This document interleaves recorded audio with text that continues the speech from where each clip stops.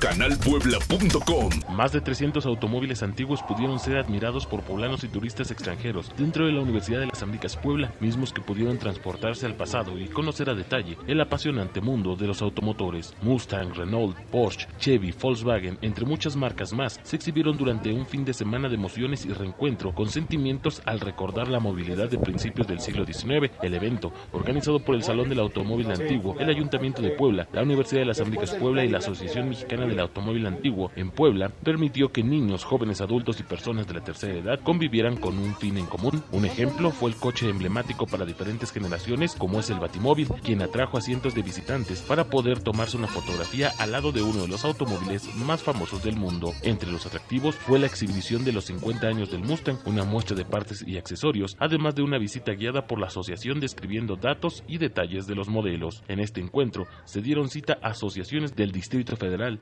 Cruz, Morelos, Quintana Roo, Tlaxcala y Guanajuato, mismos que pudieron participar en un concurso para conocer los mejores autos de la exposición. Sistema Informativo Tribuna, Cristóbal Ovato.